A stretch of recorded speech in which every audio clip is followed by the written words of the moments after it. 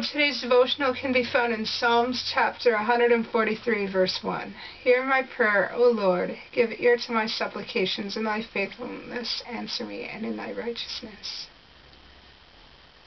Okay, we are children of God, and we can communicate with God through prayer and through the Spirit. We don't turn to God as much as we should.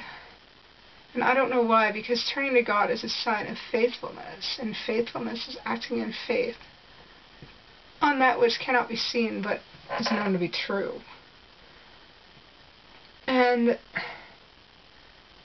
by being faithful, we are putting into effect our righteousness. By faithfulness, we are being righteous.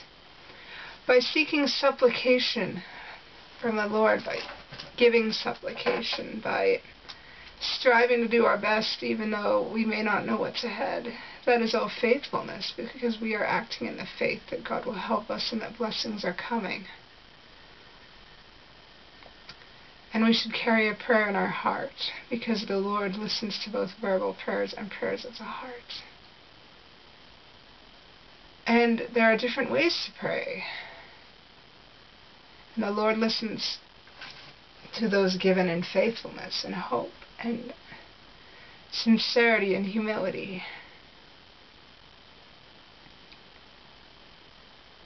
And in thy righteousness we should pray. We shouldn't pray unrighteously because who will it benefit? We need to pray righteously and with pure intent that through our faithfulness we may be blessed and allowed to see bits of the bigger picture. And through our faithfulness, the windows of heaven can open for us. The Lord hears our prayers. And He teaches us what we need to know at specific times. And He gives us what we need to endure at specific times. He may not deliver us from trials right away, but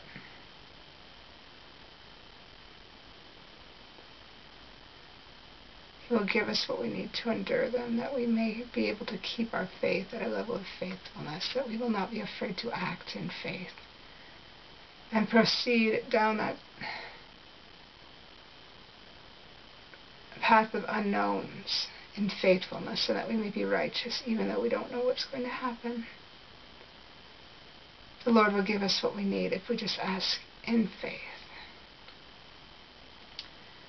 His ear is waiting for our prayer. All we have to do is say it.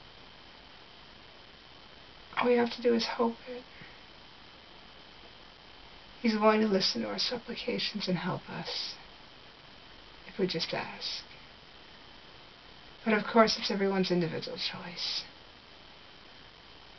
But if you choose not to pray and ask the Lord for help, you're only hurting yourself. And with that said, I love you all so very much, and I say these things humbly in the name of Jesus Christ. Amen.